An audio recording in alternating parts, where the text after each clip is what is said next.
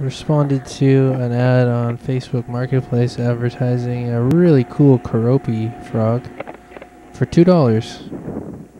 Two dollars. I'd be a fool not to go for it.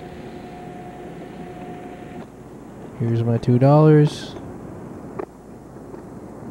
Just like that, here's my new Keroppi. Buckle up. Oh, got uh, Mr. Noodles. Take two. Buckle up there, little bud. Away we go.